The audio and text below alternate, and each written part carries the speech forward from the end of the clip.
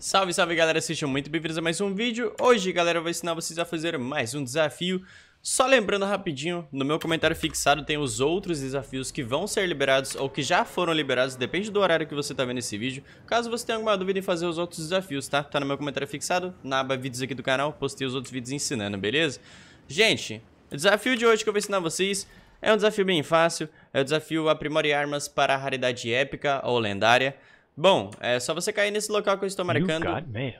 Nossa, chegou um e-mail para mim. Esquerda aqui do complexo da colheita, só você marcar mais ou menos aqui, beleza? Que você já vai estar encontrando aí a famosa... Bancada de aprimoramento, tamo de... Você acha que eu esqueci? Eu ia esquecer esse nome? Não, tá maluco.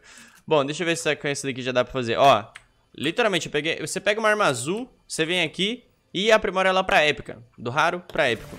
Beleza, e do épico lendário, se não completar o seu desafio, beleza? É só você upar uma azul para roxa ou de uma roxa para dourada, beleza? Muito simples e muito fácil, como eu te ajudei, use o código GabrielGF na loja do Fortnite, vou ficar muito feliz se você puder fazer isso, deixa aquele seu like, se inscreve no canal, ativa o sininho. E esse foi o vídeo, fique com Deus e até o próximo vídeo falou!